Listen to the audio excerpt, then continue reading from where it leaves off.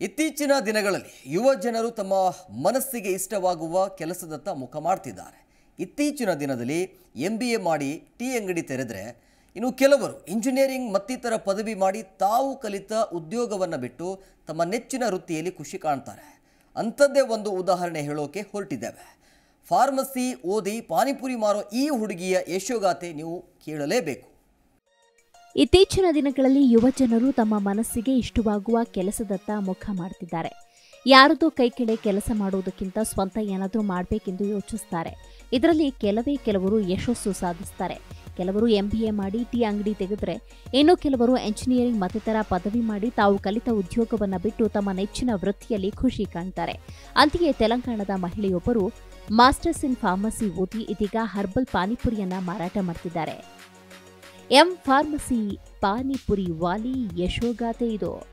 ಹೌದು, ತೆಲಂಗಾಣದ ಜಗತ್ಯಾಲ ಜಿಲ್ಲೆಯ ಪಡಕಲ್ ನಿವಾಸಿಯಾಗಿರುವ ಕೊಪ್ಪುಲ ಪೂರ್ಣಿಮಾ ಅವರು ಎಂ ಫಾರ್ಮಸಿ ಪದವಿ ಪಡೆದಿದ್ದಾರೆ.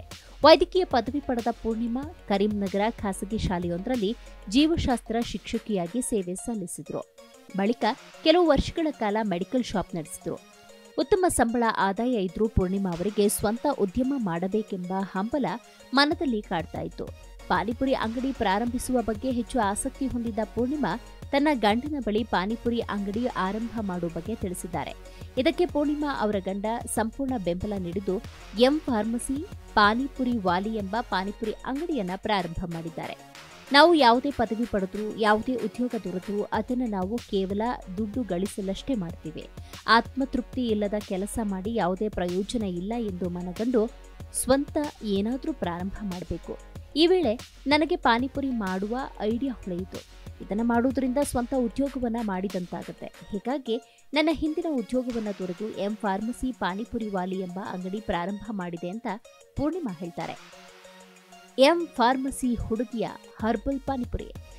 ನಮ್ಮ ಗ್ರಾಹಕರಿಗೆ ಏನಾದರೂ ವಿಶೇಷವಾದದನ್ನು ನೀಡಬೇಕೆಂದು ನಾನು ಹರ್ಬಲ್ ಪಾನಿಪುರಿಯನ್ನು ಪ್ರಾರಂಭ ಮಾಡಿದೆ. ಪಾನಿಪುರಿ ಅಂಗಡಿ ಪ್ರಾರಂಭಿಸಿದ ಕೆಲವೇ ದಿನಗಳಲ್ಲಿ ಉತ್ತಮ ಸ್ಪಂದನೆ ವ್ಯಕ್ತವಾಗಿದೆ. ವಿವಿಧೆಡೆಯಿಂದ ಜನರು ಹರ್ಬಲ್ ಪಾನಿಪುರಿ ತಿನ್ನಲು ಆಗಮಿಸುತ್ತಾರೆ ಮಕ್ಕಳಿಂದ ಹಿಡಿದು ವೃದ್ಧರವರೆಗೆ ಎಲ್ಲರೂ ಪಾನಿಪುರಿಯನ್ನ ಇಷ್ಟಪಡುತ್ತಿದ್ದಾರೆ ಜನರ ಆರೋಗ್ಯವನ್ನ ಗಮನದಲ್ಲಿಟ್ಟುಕೊಂಡು ಪುದೀನ, ಜೀರಿಗೆ, ಲಸೂನ್, ಕಟ್ಟಾ, ಮೀಠಾ ಮುಂತಾದ ಪಾನಿಪುರಿ ನೀಡಲಾಗುತ್ತೆ. Zee Kannada news desk bureau.